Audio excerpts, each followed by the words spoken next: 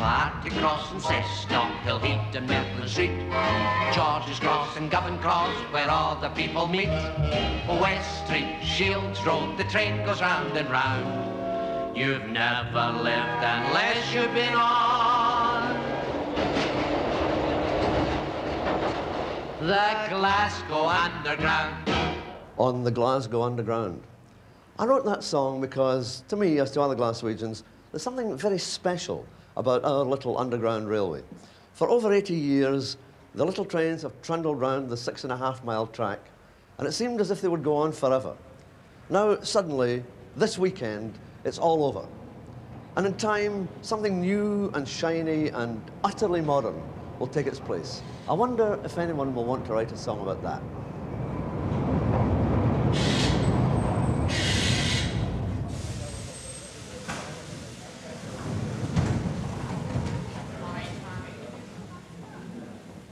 The end of the old Glasgow subway has saddened not only Glaswegians, but enthusiasts from all parts of the country.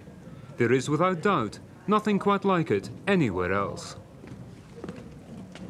To an East Coaster like myself, living in that other city, Edinburgh, the Underground's attractions are not entirely obvious. I mean, if you simply want to take a look at a surviving relic of Victorian Glasgow, fair enough. There's plenty here to marvel at, not least the fact that the trains haven't yet rattled themselves to bits. But if you simply want to take a trip, for example, from Hillhead to Buchanan Street in order to catch the last train back to Edinburgh, you need to be a little masochistic to want to actually pay to travel in these toy town torture chambers. Even the most extreme Glasgow folk might have second thoughts about subjecting himself to the sounds, the smells, and the shuglings of the Glasgow Underground.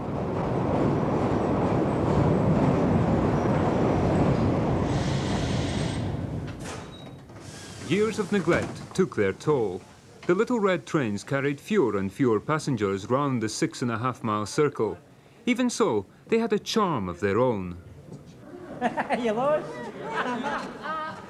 She's Thomas, there you go. I thought we were the only ones that was lost. Move again. You've got a flat there. You didn't need to be a Glaswegian to take a pride in the Underground, the only one in Britain outside London. Just look for a moment beneath the surface grime and its wrinkled, peeling face, and you can easily sense its former glory as a showpiece of Victorian endeavour.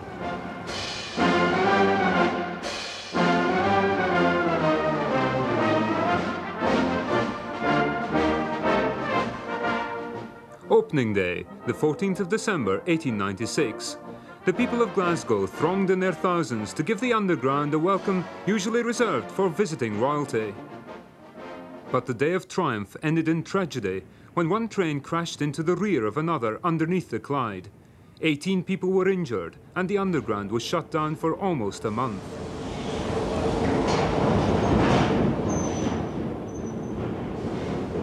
Since then, the Underground has given over 80 years faithful service, with some of the original coaches remaining in service after rattling around for more than 5 million miles. What's the attraction of the Underground? To someone like myself from Edinburgh, it seems like a dirty, smelly place. Uh, well, possibly uh, Glaswegians enjoy dirty, smelly places because we are used to them anyway, but to us it's not a dirty, smelly thing. Yes, it's not all that glamorous, but for one thing, in, in symbolic terms, every Glaswegian has Christmas every day because he owns his own Hornby train set. You know, it's the biggest train set in the world, and, and people with, uh, from other cities like Paris and Moscow and London and New York come here and adore this because it really is the toy railway. It's the railway of dreams. We came from Rugby today on the special excursion but we came back from the Isle of Man the day before, the, so we could go on it. If you look at the stock, you can see it's to an old design, and I think it is a real tribute to the carriage builders of 70 and 80 years ago that such stock can still be used today. From the enthusiast point of view, it's a shame to see such things go.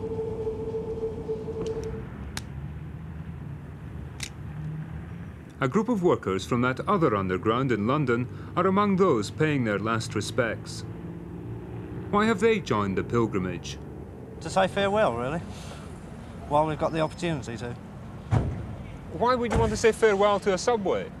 Well, to get some photographs of it, uh, to compare it with our own, because it's completely different in atmosphere. As a record, more or less. What is the attraction of the Glasgow subway to someone like yourself? I think the, the ancient rolling stock, the friendliness of the staff, which tends to contrast a bit with London. Just how different is the subway? There's no comparison whatsoever. What did you think when you were on your first trip round? Oh, goodness knows. Total surprise, I think. Why? um, I, I've never seen anything like it. That's all I can say. The Underground was due to close this Sunday with a flourish. Half a million souvenir tickets had been printed for people wanting to say cheerio to the wee red trains. But cracks appeared in the station roof, and that was that. Uh, I thought I'd bring Andrew for his first and last ride on the Underground before it closed next week. We were planning to go to Kelvin Hall to see the exhibition there. Um, I'm afraid Andrew's missed out because the system's closed down for the day, unfortunately. Do you like Undergrounds? Yes, What do you like about them? because it's dark. Do you get scared? No, No? When you're going through the tunnel, you're looking for anything that's out of order, like, you know, broken rail or a, a clip out, broken bit of T-iron, things like that. You know, anything that's not supposed to be there. You get dead cats, occasional dead bird, things like that. If you find that, you're supposed to shove it out the road so the general public doesn't see it. Ghosts, like, no. Don't think about it.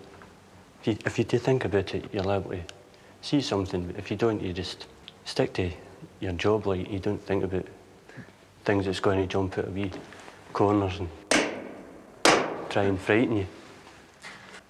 You- If you do think about it, you'd, you'd be walking along. Least wee noise would be. You'd end up looking like a ghost.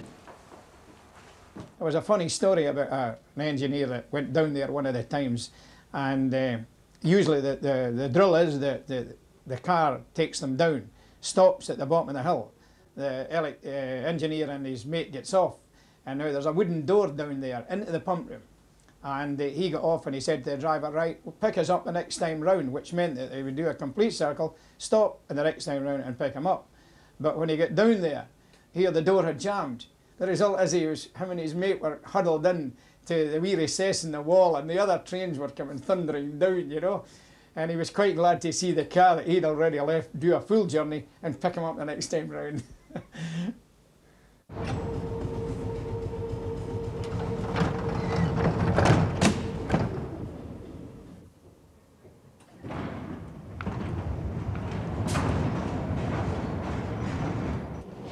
say to people who suggested travelling by the subway is the best way to see Glasgow because you don't see uh, the bits that normally appear on television, the slums and the motorway and so on? Now, that's a very interesting idea. What you do see is the most important thing in Glasgow Glaswegians. The subway is absolutely and richly and, and magically polluted with Glaswegians. Please. Thank you. My entertainment is only pray to God. No anything else. No picture, no dance, no anywhere else, no smoking, no drinking. So uh, my entertainment, I, my enjoyment is if I no miss my pray, I am quite happy man in world. Ticket please. Thank you. Ticket please. Thank you. You, you enjoy your holiday? Ticket please. Thank you. Ticket please.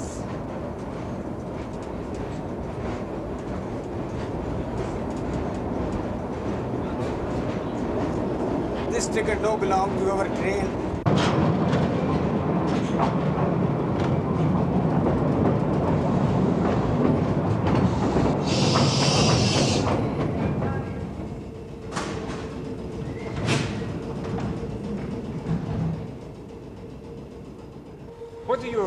Workmates and the passengers think when they see you praying on the train?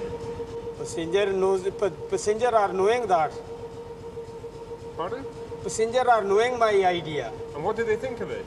As they are think that a good idea is man making money and same time he making his good life in future.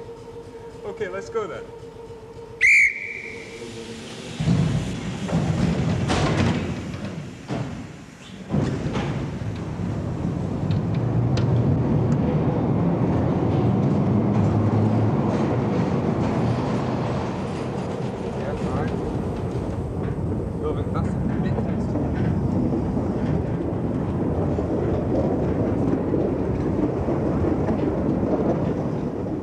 Oh well, there's sometimes an odd cat or a dog seems to come down and you've got to watch these things.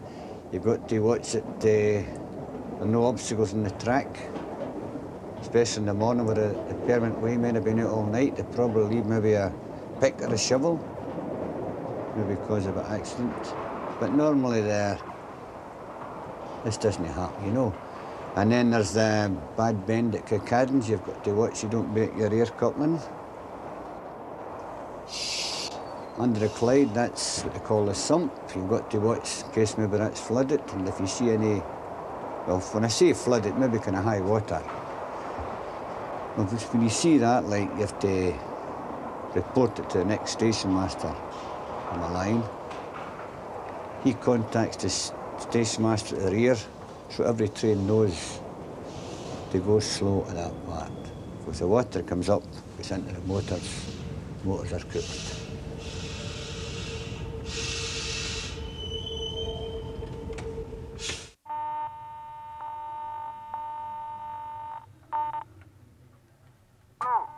Hello.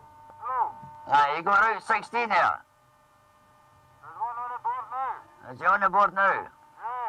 Okay. Okay. Right. This signalling system i- is unique in the sense that there's no other system like it in existence at the present time.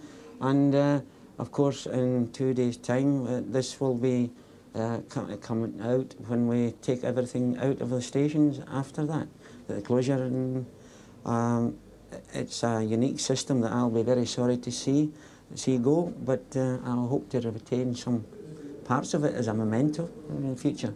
How difficult has it been to keep it going? Well, it has been very difficult because, uh, as you can visualise, when it was installed in 1935, and uh, over the past quite a few years now, uh, we've been finding parts irreplaceable to such, in such an extent that it's a- been, been a case of robbing Peter to pay Paul to keep up, keep up this part of the system going.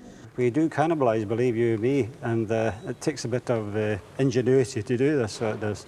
But uh, we managed to do it one way or another. Uh, we have done it, and uh, we'll continue to do it till it, it closes. But uh, I personally will be uh, glad to see the, the new system uh, come into vogue in 18 months' time. The underground has been modernised once before. In 1933, cable power gave way to electricity. The two cables, each of them almost seven miles long, were scrapped. It gave the underground a new lease of life. It was very, very popular, and uh, people thronged to see the underground being driven by electricity. And uh, it was it was a very, very good thing eh, because it had changed over from the old cable days until the onto the power-driven uh, traction engine, you know. Actually, I've seen queues uh, four abreast down at Govan Cross down there, two policemen controlling the queues and uh, it was very popular. Of course, the fares were very, very much cheaper in these days, and it was only a half pence uh, from Govan Cross across to Merkland Street, which was good value for money because it was taking you underneath the river, and uh, it was a long way round if you didn't use the underground. So it was very, very, very much popular. Was there any time when the popularity caused problems? Uh, it was, uh, more especially so at football matches. Uh, when you left Merkland Street and for any reason at all, if you had a breakdown underneath the river, uh, the football fans weren't uh, too happy about this. And of course, there was many an argument about it. And it was a job trying to get in to do the repair for to bring the car up. And the only thing that they thought about was getting to the football match. Doris Cahoon, you worked in the claims department at one time. What kind of complaints did passengers make? I don't recall passengers making very many complaints at all. The only thing I really recall in any uh, that there was a lot of were people catching their hats in the trellis gates. If you were tall, the trellis gates were very well oiled for opening and shutting, and the hats used to get caught quite often. Sometimes coats get caught in those little nicky bits.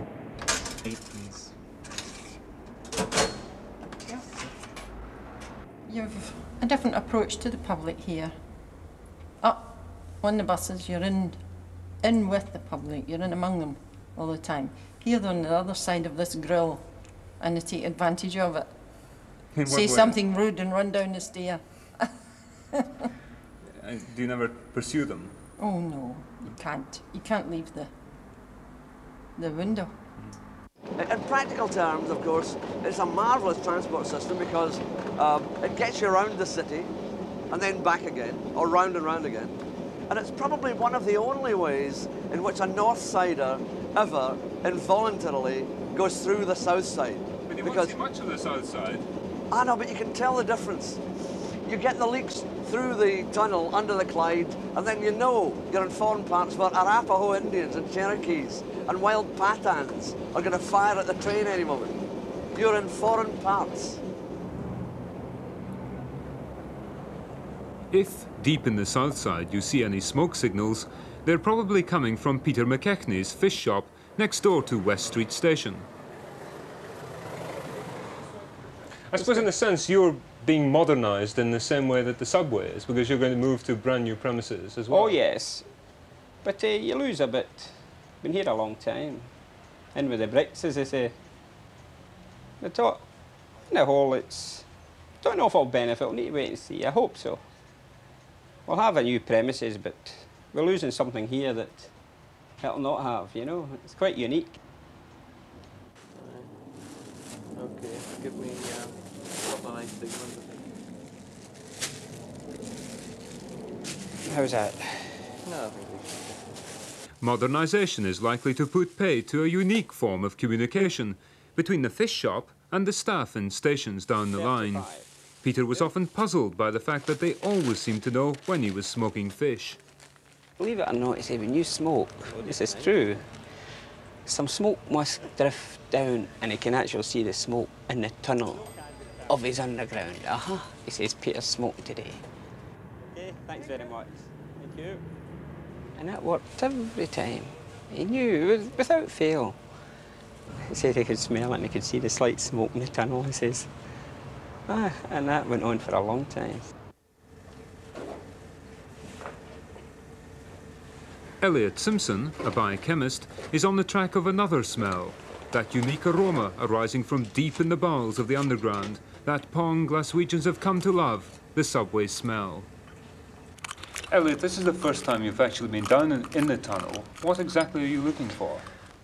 Well, I'm wanting to get some samples of the different types of mud, the dry mud here, and I've got wet mud from the other tunnel, and I want to take some of this back to one of my colleagues in the lab, and I, hopefully we'll be able to culture something interesting from it. How did you develop an interest in searching for the underground smell? Well, I saw a bit in the Glasgow Herald about the quest for this elusive whatever um, in connection with the exhibit at the Transport Museum. How did the search for the subway smell begin? Well, you know, it's one of these ridiculous things. A fellow from one of the evening papers phoned me up uh, one day and he asked if we were getting everything we wanted. And I said, uh, well, we hoped so. And he said, are you getting full cooperation from the Transport Department? I said, oh, yes, they're very helpful indeed. And he sort of pushed me a bit, you see, and he said, are you really getting absolutely everything you want? And I said, well, we're having a lot of trouble getting the smell. And, um, well, that's just how it started, you see, and uh, I almost wish I hadn't said it. The smell down here reminded me of a smell that I'd met at college at, um, from a particular culture uh, medium, and I thought, well, if only you could grow up this organism, you could waft the smell through the exhibit and you have your genuine underground. Can you remember what that culture was you met previously? Well, it was one of the actinomycetes family, but uh, each one of these members has a slightly different smell. And it's probably uh, streptomyces. But, um, then there are several of those, and again, each one has its own smell. So it could just be a special one for the Glasgow Underground that isn't in any other. Have you got a, a favourite at the moment? Well, I've got a culture of streptomyces, which I've been able to borrow, and um, it has this sort of damp smell that you'll get in underground caves. And Yes. It's, it's uh, a bit stronger than you've got down here, but if Concentrated you, it's a concentrate, um, so you can dilute it with a lot of air, and you only need a little. Do you see a time when people might be able to buy bottles of the underground smell for those people who want to remember what it was like in the old days? I don't know whether you'd actually want to have the organism in a bottle, but I should imagine you ought to be able to separate out the, the smell in a safe form. You never know, we may have aerosol instant tunnel, uh, instant nostalgia. The Glasgow mother taking her child to the top of the subway stairs to sniff the air. It seems to have grown in strength, the myth that the air from the subway gives healing, has healing properties. I think it stemmed from the time when we used Archangel tar, and that was before 1936. It was used on the rope system. But since 1936, there's been no Archangel tar. But nevertheless, mothers have still taken their children to the top of the stairs to sniff the, uh, what isn't there really. Well, Elliot, you've taken away the samples from the tunnel and you've analysed them. Have you come up with anything? Well, I've had a sniff at most of them. Some of them I had to boil to get to get some smell coming out of them. But I think the most promising one is this one. Um, it's from the mud underneath the burn that runs through Govan Cross Station. And I think if you have a sniff of this, you'll see that it's got potential. Whew, that's, that's, uh, that smells pretty authentic to me. What do you think of it? Interesting. Is that... Very interesting indeed. Um, I think I'd rather smell it than drink it. Does that uh, smell to you like the authentic smell of the underground? Uh, I think that uh, it's pretty near it, but I'd like to see a little more um, oily, tarry smell perhaps injected with it. Could you mix that up with it, do you think? I think we could try.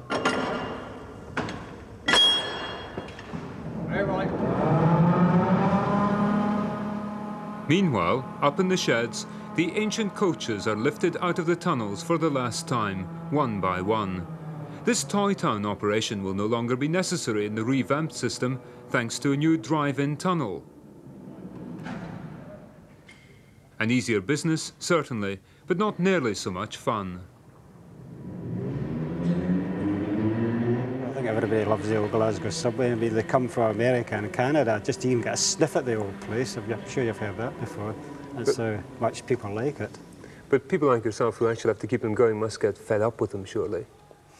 No, not really, because I mean, you meet uh, all the Couthie characters of old who used to work in the place. They're uh, continually coming in and out, see how the place is going, see how the trains are working, and see who's died and who's coming, and all this sort of thing. So, I mean, there's always something to talk about. There's always something to do, you know. I will permit it to be modernised, but I don't demand it. I still enjoy it the way it is. And I only hope that the new, a trendy 1980s underground keeps some of the quaint magic that we have in this one. Like what? A, like shaking you about like a spavined horse, for instance, and giving you the chance to look at beautiful young ladies in the seat opposite and dream dreams. It's a railroad of dreams, my boy. It's a railroad of dreams. If a latter-day Rip Van Winkle had fallen asleep in the maintenance sheds decades ago, he would find it much the same today. Perhaps the Transport Museum should preserve it as it stands. There are so many old things, um, railway stations and subway sheds and other places that really, I, I suppose if modernisation is to go ahead, there just isn't room to preserve everything full size as it was in the past. Modernisation is already underway, but old traditions die hard. These coaches are being cannibalised yet again, this time to carry the brand new track into the tunnels. The new underground, estimated to cost £33 million, is expected to open in 18 months. With luck, that will be a less calamitous opening than the first one.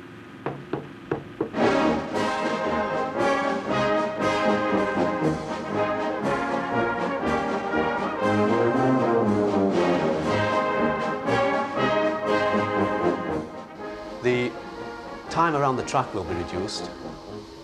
Presently we take 28 minutes, half an hour. The new coaches will make the journey in 22 minutes. Now that's quite a, an improvement. But what people will notice will be the improved ride. We have at present what is known as the Glasgow Shugel. It's good for the kidneys, alopecia, or anything you like, but uh, unfortunately it's not very convenient uh, if you're uh, carrying parcels or carrying children. You get thrown about a bit. Rich people spend fortunes buying horses to get the same effect on their liver as the underground gives people in Glasgow for coppers. Some people have suggested that unless the new system shuggles about to the same extent, it may have problems negotiating some of the bends. I've heard that as well. Well, we're realigning the track.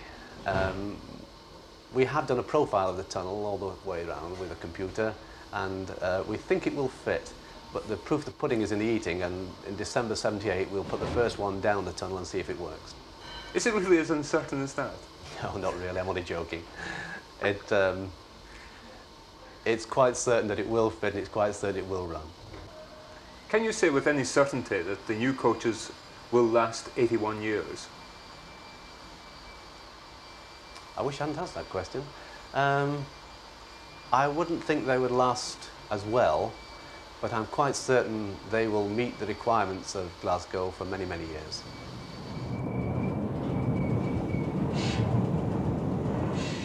Well, I've been down at Birmingham there, say about a month ago, and I've seen the new trains, and I think they're smashing. Well, the ovens compared to these, this is an icebox, this. So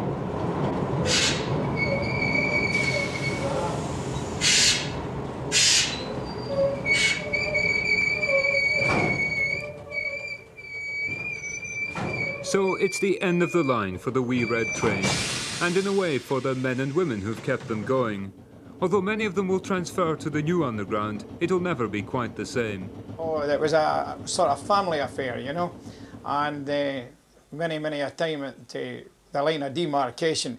Uh, and these days, of course, the line of demarcation is very much in evidence, but in these days, no. Uh, everybody just helped out, and that was one of the reasons why the underground was able to run as well as it has done until the present time. Well, I, am really sorry that it's closing insofar as it's a very typically Glasgow institution. The new one, I suppose, will be uh, very smart and tidy and all that sort of thing, but somehow there's something Glasgow, really Glasgow, about the subway, and I think everybody will miss it very much.